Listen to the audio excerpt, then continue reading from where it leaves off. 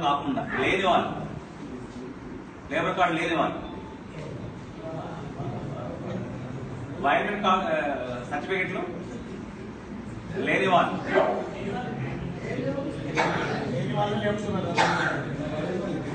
Okay.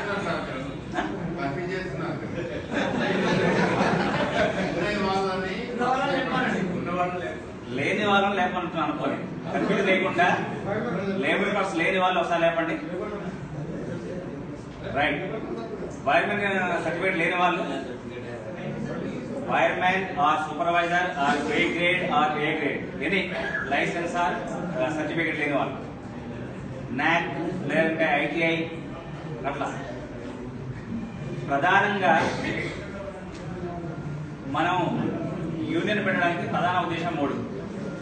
ఒకటి వృత్తిలో నైపుణ్యం పెంచడం. రెండోది ఉపాధి కల్పించడం. మూడోది మన సంక్షేమం కోసం పాటుపడడం.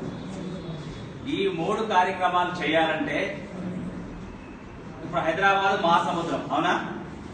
ఈ మహాసముద్రంలో మనకున్న ఓ అంచనా ప్రకారము ఒక యాభై వేల మంది ఎలక్ట్రికల్ కార్మికులు ఉంటారన్న అంచనా. మరి యాభై వేల మందికి మన సమాచారాన్ని ఇవ్వడం అంటే కష్టం అవుతుంది కాబట్టి మన ప్రతి నియోజకవర్గానికి అంటే హైదరాబాద్లో మనకి ఇరవై నాలుగు నియోజకవర్గాలు ఉన్నాయి.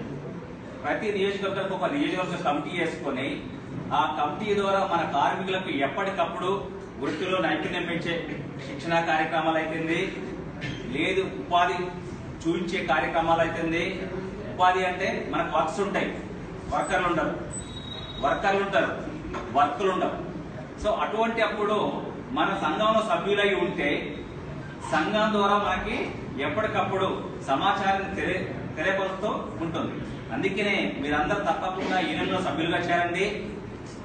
సభ్యులుగా చేరడం వల్ల మనకు మూడు బెనిఫిట్స్ ఉంటాయి. ఒకటి మన వృత్తిలో నైపుణ్యం